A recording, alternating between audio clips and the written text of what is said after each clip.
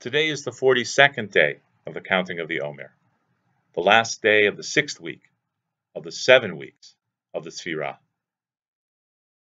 On this 42nd day, as we continue our journey through the 48 ways of acquiring Torah, we are connecting to the concept of Sho'eil u'Meishiv, of asking and answering.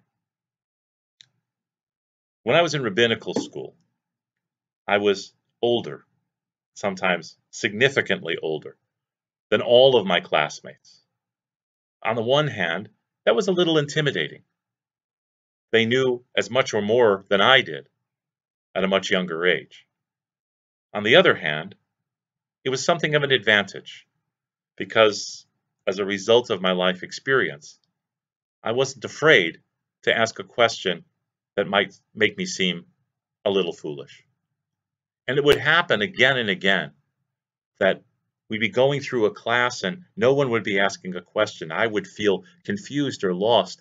So I would raise my hand and ask. And immediately, several of the other people in the class would go, Yeah, I was going to ask just that. Sho'eil u'Meishiv, asking and answering, means on the one hand, if we don't know, we should not allow that difficulty to prevent us from learning. We should ask directly and respectfully.